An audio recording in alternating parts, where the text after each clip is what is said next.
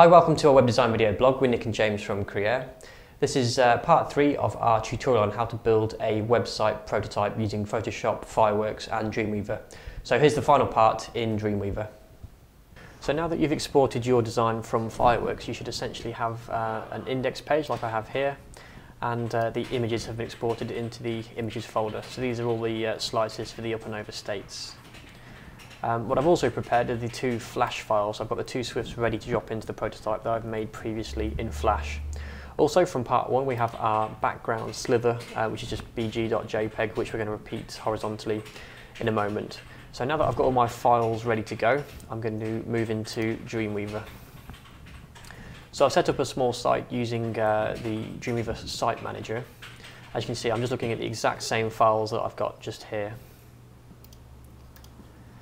So let's go back into Dreamweaver and if we open up the index page uh, you can essentially see what Dreamweaver has uh, given us by default. Uh, it's essentially cut up the design for us, put it into a series of tables uh, and just on a basic white background. So in order to get this in the center and to remove any default HTML padding we're going to pop some CSS in into the head. So you can also see inside here the JavaScript uh, and the rest of the design and the coding that uh, essentially makes the rollovers and so forth work. So what we're going to do is we're going to apply some rules to the body. So I'm going to type body. First thing I'm going to do is get rid of the uh, default margins by doing margin zero. And then I'm going to put my background slither in. So background image, I can browse for this.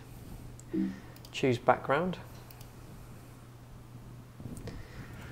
And then the most important one is the background repeat. So because this is only a one pixel wide graphic, we want this to repeat horizontally. So that's repeat x, as in along the x-axis. Okay. So now if you view the design, we've got our background in, as you can see, and the margin from the top and sides of the uh, default HTML page have gone. So the last thing to do is just to put this into the center. Um, easiest way to do this is to get the master table, which on here is on line uh, 41 for me, and just align this to the center, like so. Obviously, when you're designing a, pro a, proper website, you ideally want to be using CSS instead of tables, um, but because it's just a prototype, using tables is perfectly fine. So as you can see, we have our design in the center of the page, we have the background repeating along the x-axis, we have all the um, graphics and so forth in the right place. The only thing that's left to do now is to put in our flash files. Um, sometimes the easiest thing to do would be to delete these um, holding graphics that we've left in their place and quite simply drag the flash in from over here.